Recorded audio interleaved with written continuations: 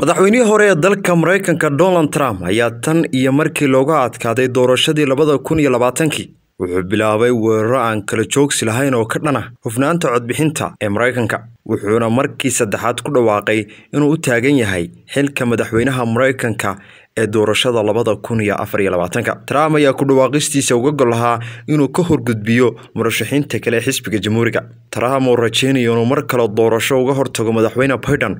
oo ka tirsan xisbiga jamhuuriga ayaa hadalkan ka sheegay gurigiisa oo ku yaalla gobolka florida. Toddobaad kadib doorashada xilliga dhexe oo ay jamhuuriyiintu ku guuldaraysteen inay ku guulaystaan kuraas badan oo koongareeska sidii ay rajeynayeen si aan mar kale amerika uga dhigo mid weyn aawa waxaan ku dhawaaqayaa inaan u tartamayo xilka madaxweynaha maraykanka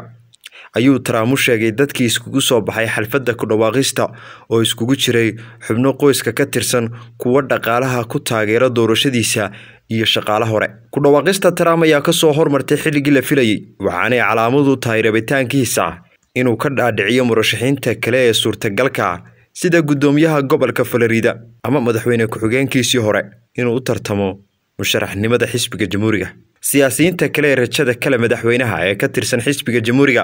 waxaa ka mid a guddoomiyaha gobolka virginia guddoomiyaha texas guddoomiyihii hore ee south carolina iyo xogiyihii hore arrimaha dibadda meke bombeo ridwan saleeban carab